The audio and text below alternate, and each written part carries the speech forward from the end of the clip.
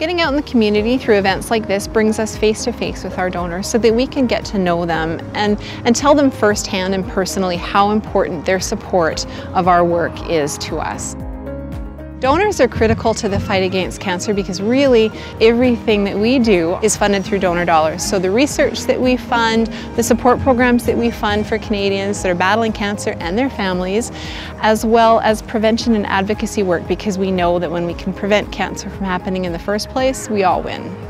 One of the big problems with cancer is that the drugs that we use, you know, they're very effective, but they're also cause a lot of toxicity. My research really builds on the last sort of 10 years of work that we've been doing, you know, collecting samples from patients from across Canada and identifying genetic risk factors for why some people respond really poorly to these medications.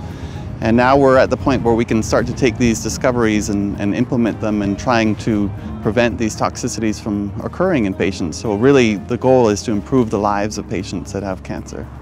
My mother was, I lost her 11 years ago to brain cancer and it was near and dear to me to to get involved and it was uh, you know, an honor to be out here today and helping the fundraising efforts. It's one of the hardest cancers, I guess you could say, to find a cure for. It's the hardest place to get to, so I kind of see it as if they can find a cure for brain cancer, I, I can't even think of what it could do for all cancer across the board. They want to make a difference and, and put money towards this and make a difference to, you know, to hopefully one day cure this disease.